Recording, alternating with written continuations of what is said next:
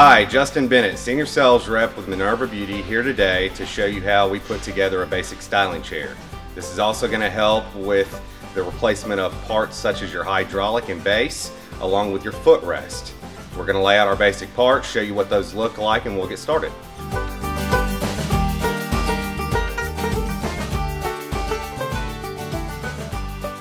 First what I would like to do is put together the big, bigger parts such as our hydraulic and our base.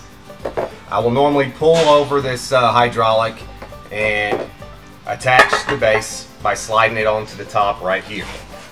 This is one bolt and washer inserted right into the top right here. I usually use my thumb just to tighten it down all the way and then I will use a Allen key wrench which is provided in the box. The larger one will fit this base and we'll just continue to tighten this down until it is nice and sturdy. After this, we're going to insert the foot pump.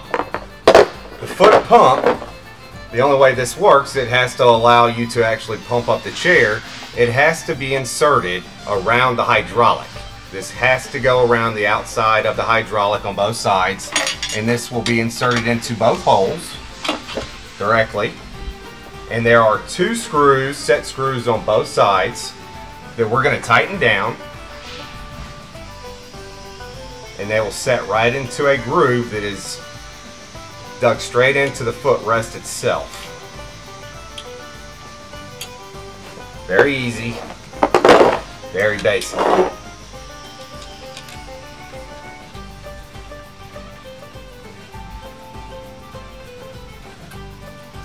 Okay, after the whole base is put together, we want to turn the chair top over where I said that all of the bolts will be inserted for you. So we want to back all these out. They should be loose enough for you to loosen them just with your fingers.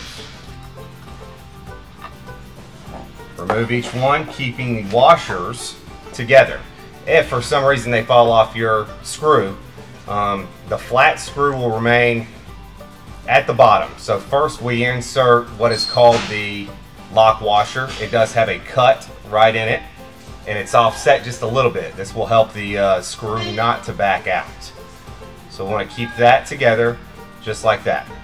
We'll take every single one of them out.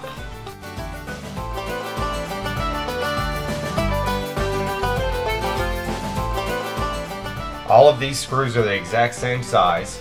And what we want to do first is actually just attach what is called the seat bracket. The seat bracket will come just as such and will have a bolt with a washer slid into the top hole of it. This will actually be used to, act, to insert on top of the hydraulic. We're going to take this plate, slide it over. There's a pin on the top of the hydraulic, and that's what you want to use the groove that comes straight down from the top of this plate and slide it straight over, straddling that, that pin. Your bolt will attach straight in the top side of it. We'll tighten that down. This is the only tool that is not provided. It will be a 14 millimeter wrench socket or you could use an adjustable wrench or a pair of pliers. This doesn't need to be extremely tight. It will keep this chair from moving and coming off. If you find this bracket moving, you can always lock your chair by lifting up on the foot pump and this will help you tighten down your bolt. So we'll get that good and tight. It's always a little easier to work on this if you have the hydraulic pumped up a little bit. But once again, I'll always put it in the lock position as I want to keep it here. On this plate, there's a front, it is embossed here with the front, and it also is a little bit higher than the back end. This is to help prevent a client from feeling like they're sliding out of the front of the chair. So we want to keep this towards the front of the chair. We'll take the chair top set it on top of the hydraulic and the bracket, and we'll line it up with the holes. You can once again take your hand and insert each screw into the hole.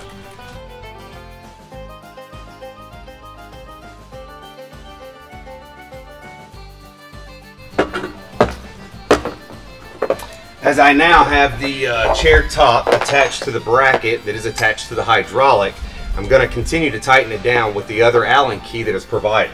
It is a smaller wrench, a smaller key, than the one used for the base. So I have the larger one for the base, the smaller one for the bolts that attach the chair top to the bracket. Once I tighten these down, I actually do a cross pattern just to make sure that it's all sitting flush. So I'll go straight across, diagonal from one to the other. Just make sure it's nice and tight. The lock washer should provide you with assistance for not letting the bolt back out over time. The last two holes inserted here for your footrest. It's the exact same process of just sliding this over the top tightening down the bolts with your fingers.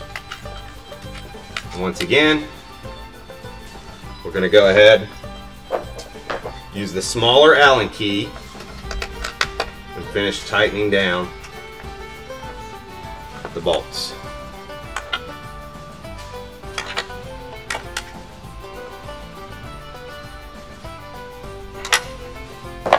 After that is complete, you have a fully functional styling chair ready to go for operation and service. As you can see, it's very simple. We appreciate you for watching. Have a great day.